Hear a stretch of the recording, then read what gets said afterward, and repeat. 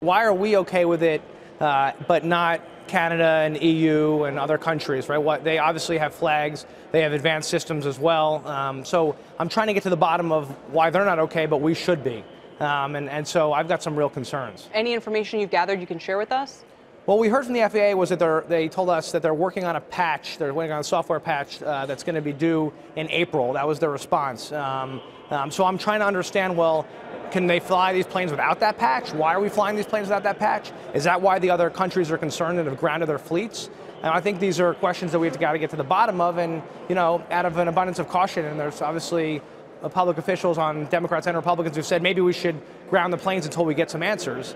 Um, I heard from the pilots and others who've said we feel good in terms of our conversations with with uh, the FAA and with the airlines. So I think we need some more transparency behind this because obviously passengers are rightly concerned. I find it striking that so many countries have gone ahead and, and taken this step. Why do you think that is?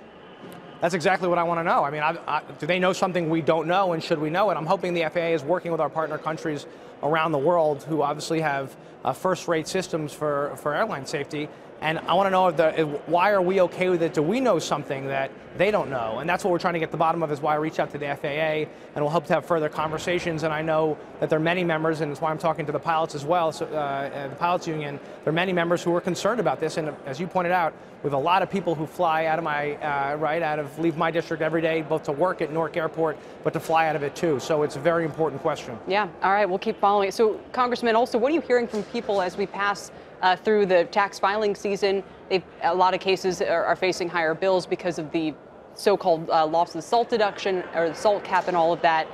Spring selling season, housing-wise, is just getting underway. Is your district doing okay? Well, Kelly, we've talked about this on the show. You know, I've heard from people for months who are panicked about this and the impact of their of facing higher taxes um, uh, in, in my district in northern New Jersey because of salt, where they gutted salt and capped it out, as you know, to the deduction at $10,000, effectively creating double taxation. Um, so now that we're going to tax season, the number of calls coming into the office are up. I'm hearing it from from all over the district saying, wait, my taxes just went up. Why am I paying higher taxes? Our taxes are too high. We've got to figure out a way to reinstate SALT, and I've got legislation, bipartisan legislation, to do that.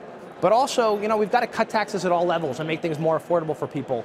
There's just no reason why, with healthcare costs going up and, and costs overall going up, and now, of course, property values in northern New Jersey going down because of this, people can't afford to pay higher taxes. It's ridiculous. How do you cut taxes, though? I mean, that's that's well, you re- the most well, difficult thing you, in politics. Yeah, but you reinstate SALT, and there are several. I've got several pay-fors that actually will allow us to pay for this. Um, and you know, and uh, uh, frankly, we got to start looking at these other states that take far too much of our dollars, of our taxpayer dollars in New Jersey, um, and they stuff them in their pockets. And you know, my district gets back historically 33 cents on the dollar, and Mississippi gets back $4.38 for every tax dollar they send to Washington.